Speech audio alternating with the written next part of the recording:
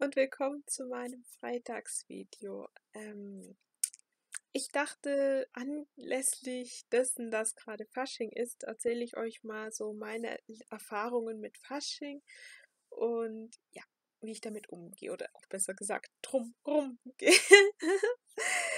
ähm, ja, es klingt vielleicht komisch, ist aber so, ich bin überhaupt kein Faschingsmensch. Im Gegenteil, ich muss sagen, wir machen diese ganzen, dieser ganze Tramdamm und dieses ganze Übertrete und dieser Lärm machen mir echt, und vor allem auch die Masken, machen mir richtig zu schaffen.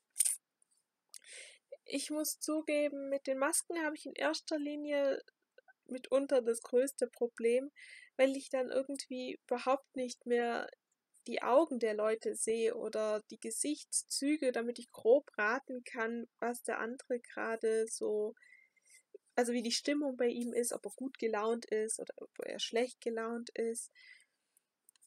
Und auch dieses, ähm, diese ganzen Kostüme finde ich irgendwie sehr verwirrend, weil sie für mich die Individualität und die Persönlichkeit ein wenig verstecken und mir fällt es ja eh schon schwer, die Leute wiederzuerkennen. Und dann in diesen Kostümen weiß ich überhaupt nicht mehr, wer die Leute sind. Und es ist wirklich schwierig. Und dieser ganze Lärm ist natürlich auch nicht meins. Das gebe ich auch zu.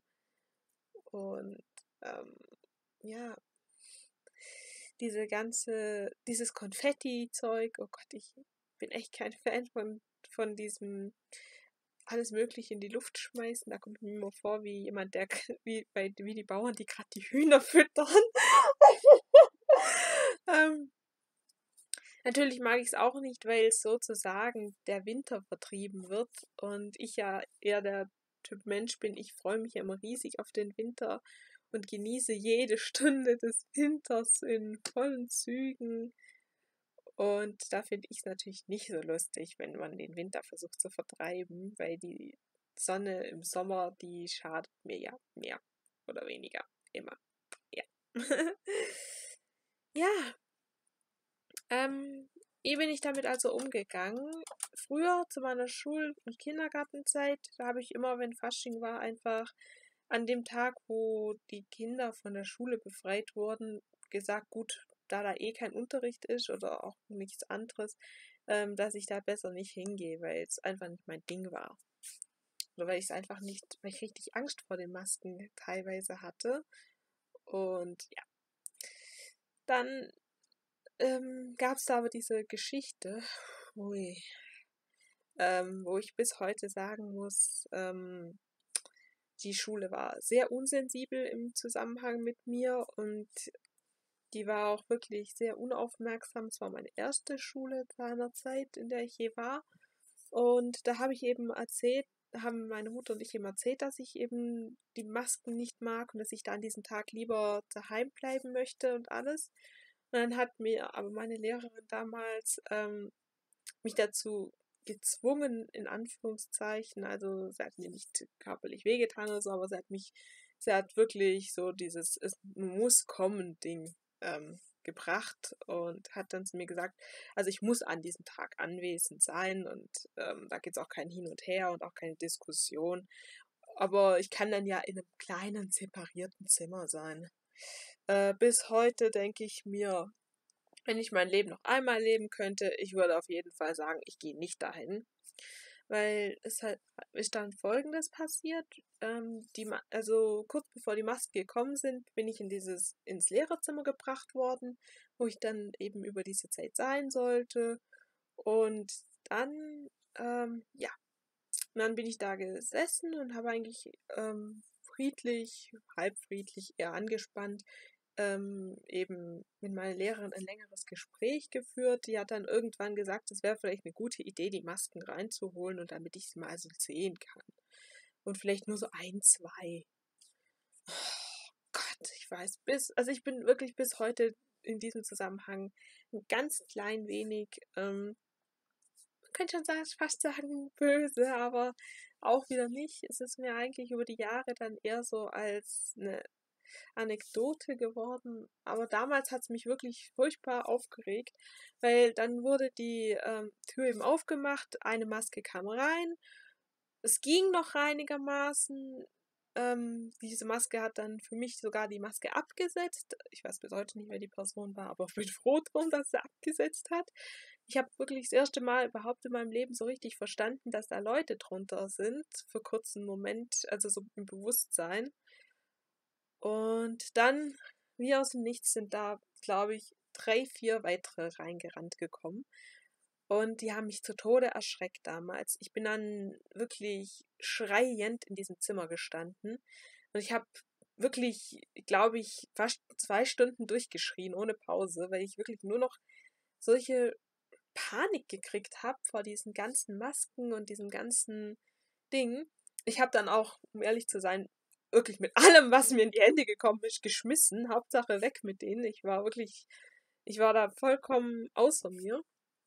Und ja, seitdem gehe ich den Masken tendenziell eher aus dem Weg. Ähm, dann irgendwann habe ich, wie gesagt, eben mich heute ähm, dann mal dazu entschieden, man sollte vielleicht, wenn ich, ich habe heute so eine Situation, wo ich nicht um die Masken rumkomme.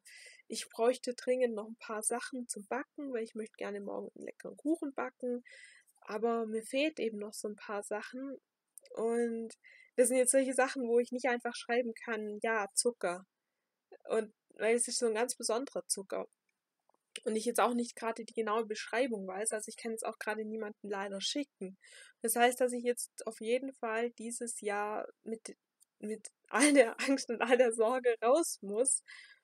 Und ja, da habe ich mich dann entschieden, ähm, oder besser gesagt, habe ich jetzt das Riesenglück, könnte man auch so sagen, dass mein Vater mir gesagt hat, dass er mit mir rausgeht und das hat mir schon immer geholfen, weil, ähm, ja, weil der, dem konnte ich die Hand so, so quetschen, wie ich wollte und alles und der ist einfach da gewesen und hat mir immer so ein so einen Rückhalt gegeben wie kaum was anderes. Und da bin ich richtig froh, dass mein Vater mit mir dann wahrscheinlich morgen, vielleicht auch noch heute Abend, das wird man sehen, ähm, mit mir zusammen rausgeht und ähm, diese Sachen besorgt, damit ich dann meinen Backen backen kann. Das kriege ich schon gebacken.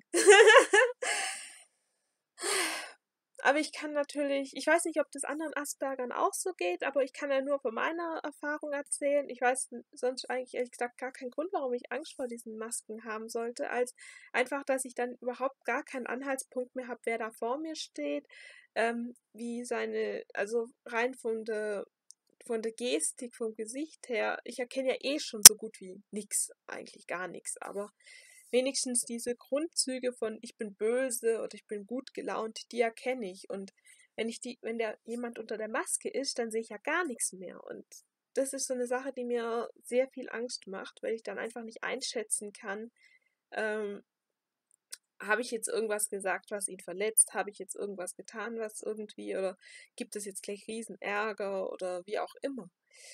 Und ja, deswegen mache ich mir persönlich Sorgen diesbezüglich.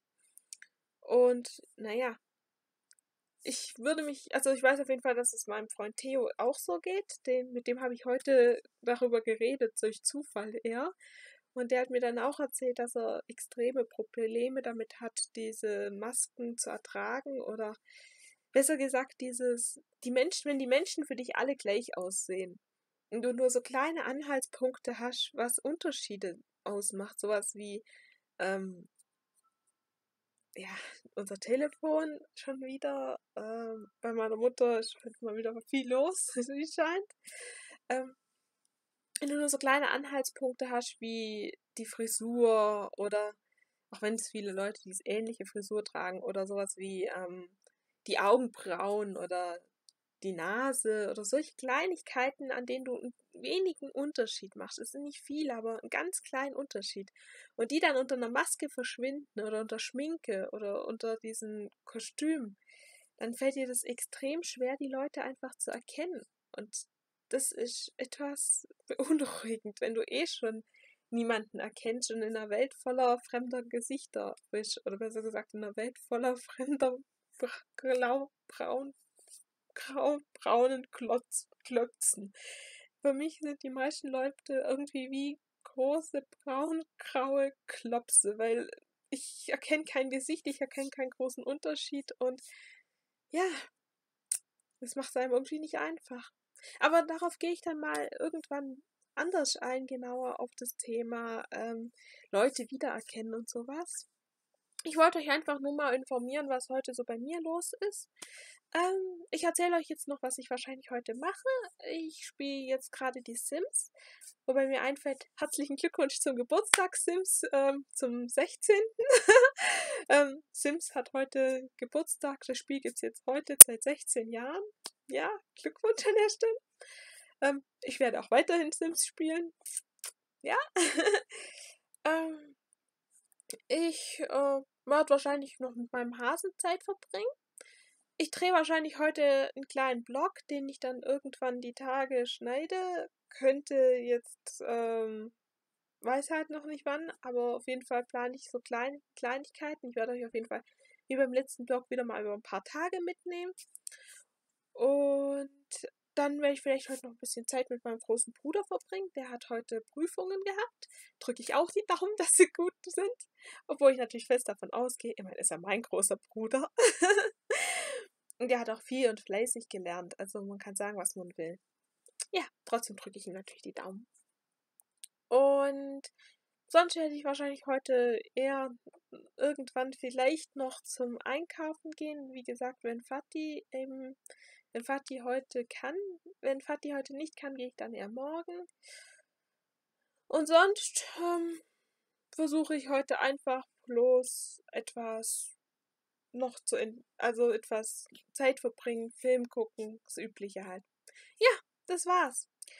Ähm, wenn ihr mögt, sehen wir uns am Mittwoch wieder. Ihr könnt mir gerne Fragen schreiben oder wenn ihr auch ein Asperger seid, schreibt mir in die Kommentare, ob es euch auch so schwer fällt mit dem Fasching. Das würde mich echt interessieren. Ähm, mein größter Tipp, den ich jedem anderen Asperger geben kann, ist, such dir jemanden, der dich begleitet, der dir sozusagen etwas die Sorge nimmt und etwas dieses, dieses, ähm, ja, ich kann es nicht anders nennen, aber dieses Flürrige, dieses Flirren, das man dann hat. Und ähm, wenn du da niemanden findest, dann Decke über den Kopf und einfach nicht aufstehen. so habe ich es jahrelang geklärt und werde es wahrscheinlich auch dieses Jahr versuchen zu klären. Ähm, das einzig Gute, was mir am Fasching immer einfällt, sind Krapfen. Die sind lecker. Ja.